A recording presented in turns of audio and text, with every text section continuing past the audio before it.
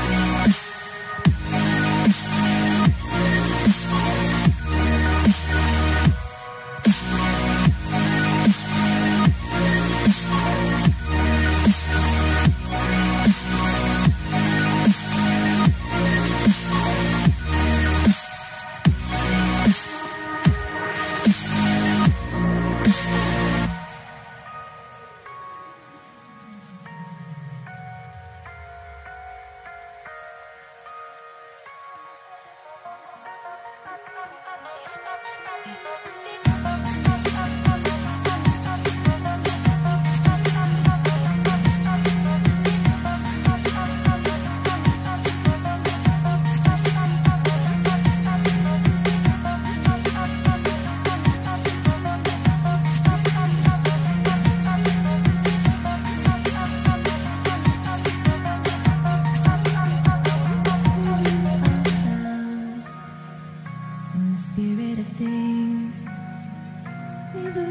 sound.